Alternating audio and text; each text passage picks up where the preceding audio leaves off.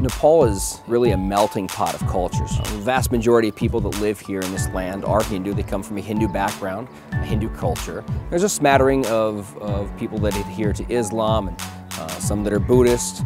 Uh, and, a, and a very small but yet rapidly growing subset of this community are Christian.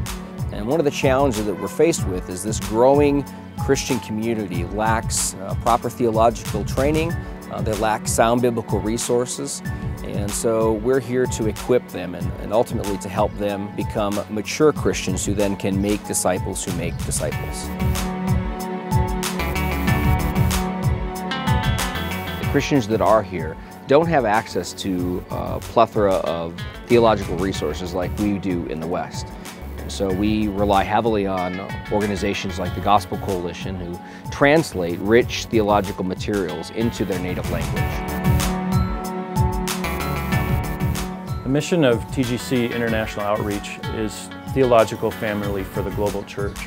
Our burden is for pastors in the global south, in Asia, Africa, and South America, who lack good access to solid books, training, seminary, even the internet. We're working to get good solid books into their hands to help equip them for ministry and for church planning. Over the last five years, we've partnered with Barden Books which is a Nepali publisher here, and it's been a great joy to work with them. Barden Books is one of only a few publishers in Nepal who desire to get good Christian resources into the hands of the Nepali church in the Nepali language. They work with the printing press that prints 80% of the Christian literature for the entire country of Nepal and it was so exciting to see the Bible being handmade by Nepali women and men, to see our books coming from the same press that's distributing Nepali resources from Nepali authors, but also sharing gospel-centered resources from authors in, in America and around the world.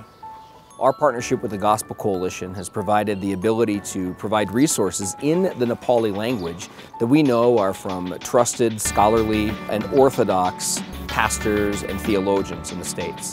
As they opened up this box and as they looked at these resources, I was extremely convicted by the fact that I've got books on my bookshelf uh, that have never been read, uh, resources that I'll probably never get to. And their hunger and their thirst for these resources really has compelled the work that we're doing in Nepal and in other countries and really has uh, cemented the relationship that we have with the Gospel Coalition International Outreach.